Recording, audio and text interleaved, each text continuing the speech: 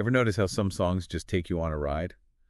Not just like a toe tapping kind of thing, but like a Yeah. full on emotional roller coaster? Yeah, like the music just seems to connect on a deeper level. Totally. And that's exactly what we're diving into today with uh, Benson Boone's Beautiful Things. But we're going beyond just the lyrics. You know, Mhm. we're going to explore how the music itself makes those emotions hit so hard. Yeah. There's this whole concept called prosody in music.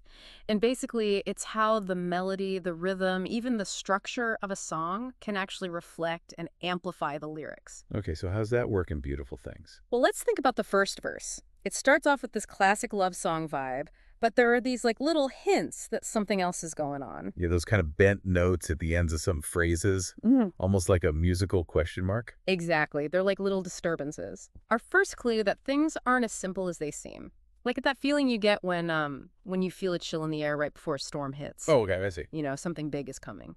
Okay, so it's like the song is telling a story with the words and the music both. Exactly. And that brings us to the chorus where the storm we were talking about really breaks loose. It's like the ocean pulling back, you know, gathering its strength before a tsunami crashes down. yes. It builds and builds, and then bam, this wave of emotion just hits you. And the way Boone uses his voice in that moment, it's so raw, Oh, yeah. so powerful. It actually reminds me of that raw, powerful vocal style that Justin Hawkins from The Darkness is known for. Yes, exactly.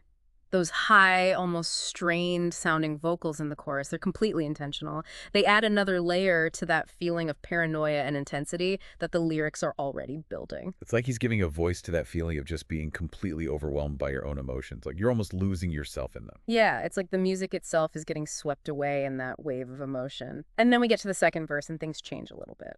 Yeah, the lyrics get way more introspective. Mhm. You know? He's singing about wanting to hold on to these beautiful things, but there's also this fear there.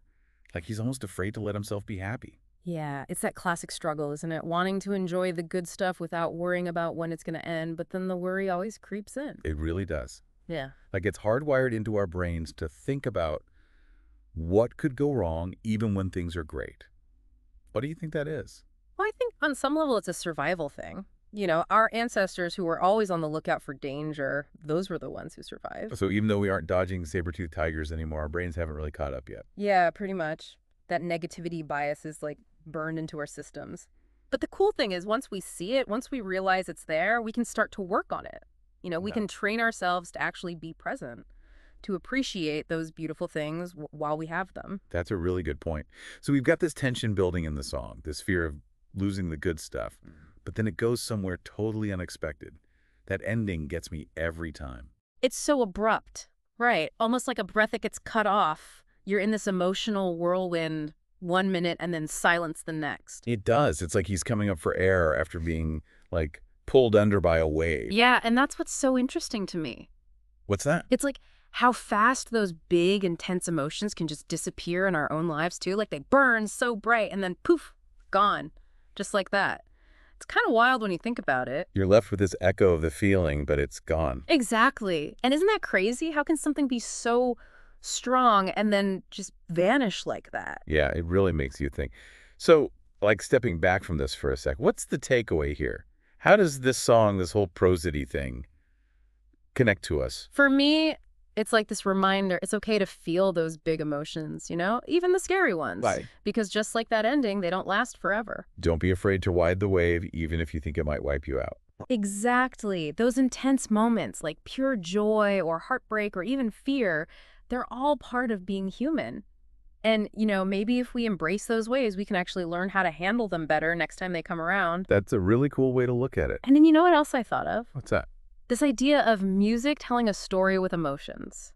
It's everywhere once you start to listen for it, like the way a melody builds up or how a chord change can make your chest ache. It's all so carefully put together to make us feel a certain way. Yeah, you really start to appreciate the artistry behind it all, right? For sure. It's like musicians are sharing something truly special with us, you know, a way to connect with what we're feeling. And maybe we even learn something about ourselves because of it. So next time you listen to Beautiful Things, or really any song, pay attention to how the music is working with the words to tell the story. It might surprise you what you find.